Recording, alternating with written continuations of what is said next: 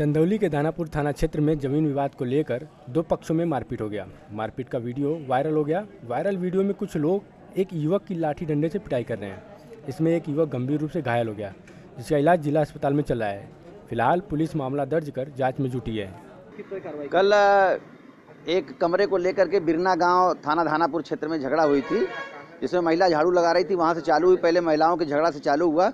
फिर उसमें पुरुष इन्वॉल्व हो गए हैं, जिस और दोनों तरफ़ से मुकदमा पंजीकृत कर दिया गया है। अब मेडिकल के आधार पर जो भी अभियोग आएगा, वो दर्ज करके इनके विरुद्ध कठोर कार्रवाई की जाए